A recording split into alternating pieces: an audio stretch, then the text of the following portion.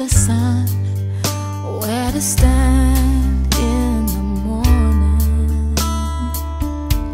And who told the ocean you can only come this far?